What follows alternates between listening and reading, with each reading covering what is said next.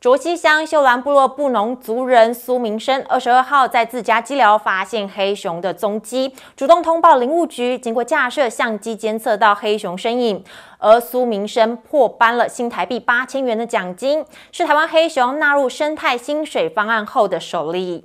画面上一团黑黑的，就是台湾黑熊跑去鸡舍的踪影，鬼鬼祟祟的在偷吃，模样相当可爱。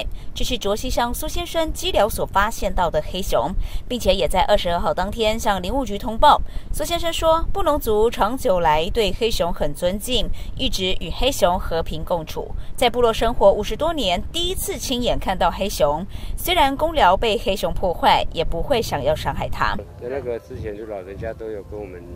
都有跟我们讲过哈，跟我们跟我们讲说，黑熊是你的朋友，不要乱不要乱杀它。就自己把那个鸡寮哦，然后饲料全部清干净就好。因为林务局跟我们讲说，像这种东西的话，它没有没有食物来源。他自然而然就会离开。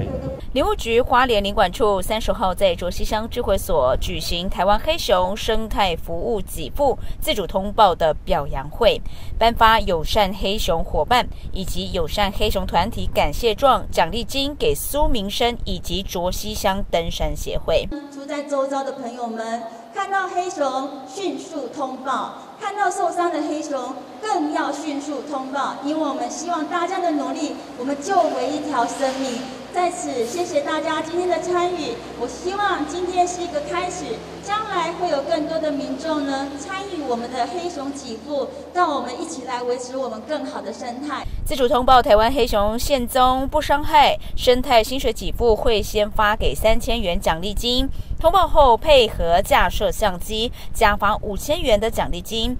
这个例子是黑熊纳入生态薪水方案后的第一例。记者高双双卓西乡采访报道。